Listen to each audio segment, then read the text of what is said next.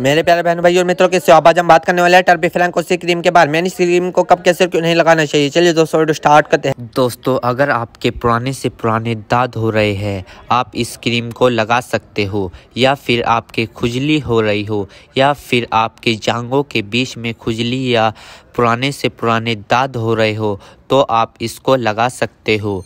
और दोस्तों, अगर आपके चेहरे पर कील मुआवशे हो रहे हो तो आप इस क्रीम को आँखों से बचाकर लगा सकते हो। और दोस्तों, अगर घुमोरी हो रही हो तो दोस्तों, आप इस क्रीम को आसानी से उस जगह पर लगा सकते हो। दोस्तों, आपने देखा होगा कि आपके शरीर पर कभी कभी आपके शरीर पर यानी कि छोटे छोटे लाल चकते हो जाते हैं। तो दोस्तों, आप इस क्रीम को आसानी से उस जगह पर भी लगा सकते हो, या फिर आपके शरीर पर फोड़ा फुंसी निकल गई हो तो आप इसको भी उस जगह पर लगा सकते हो, और एक्जिमा में भी आप इसको लगा सकते हो, या फिर छाजन की दिक्कत में भी आप इसको लगा सकते हो।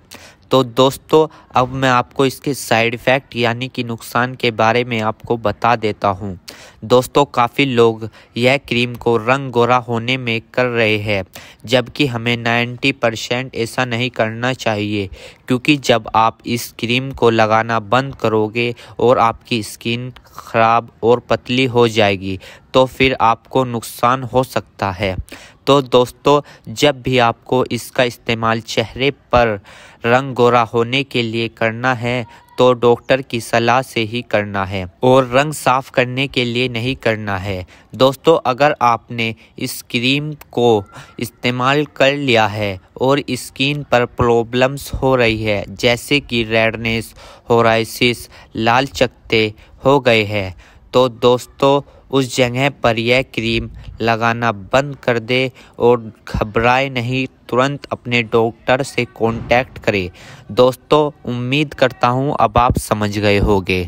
है तो दोस्तों यदि टर्बी फ्लैंकोसी क्रीम की इन्फॉर्मेशन फुल जानकारी। दोस्तों का हमारे चैनल पर नए तो चैनल को सब्सक्राइब करें वीडियो को ज़्यादा से ज़्यादा शेयर करें। थैंक यू धन्यवाद।